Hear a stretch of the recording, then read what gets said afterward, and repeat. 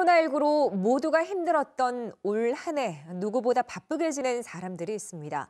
바로 수어 통역사들인데요.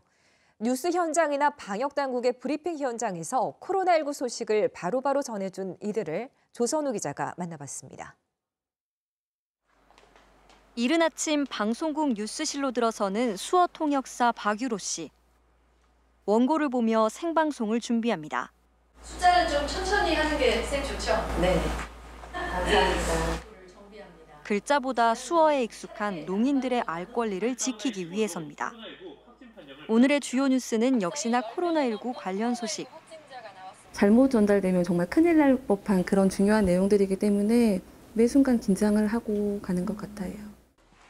코로나19 확산으로 방역 당국 브리핑이 연일 열리면서 수어 통역이 일상적인 업무가 됐습니다. 요거가 있을 때마다 저희는 배치가 돼서 통역을 나가야 되고 그게 사실 주말 밤낮 구분 없이 저희가 통역이 생기기 때문에 전주 지역에서 활동하는 수어 통역사는 모두 10명 정도. 소속 기관에서 받는 급여 외에 따로 받는 수당도 없이 그야말로 그림자처럼 곁에서 묵묵히 누군가의 필요를 채우고 있는 겁니다. 반짝이는 옷을 입는다거나 무늬가 있는 옷을 입으면 손 동작이 좀 헷갈리실 수도 있고 잘 인지하시는데 좀 어려움이 생길 수 있어서 검은 옷만 입고 있습니다.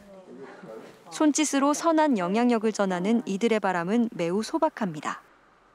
좋은 일 안에 착한 일 안에 이런 시각보다는 전문적인 통역사라는 인식으로 많이 봐주셨으면 좋겠고 다 같이 힘든 국민들 모두가 힘든 상황이잖아요. 그래서 감내하고 해야 될 부분이라고 생각합니다. KBS 뉴스 조선우입니다.